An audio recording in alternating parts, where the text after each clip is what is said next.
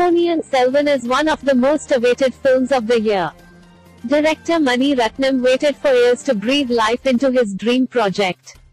And when it finally happened, the post-production ought to be grand. The teaser of Ponniyin Selvan was to be unveiled at a mega event by Chiyaan Vikram, Aishwarya Rai Bachchan and Trisha at 6 pm on July 8. While Vikram have to give the teaser launch a miss owing to his ill health, Aishwarya and Trisha will take the show forward. However, hardly an hour before the launch, the teaser of Ponniyin Selvan has been leaked on the internet and needless to say, the video is going viral.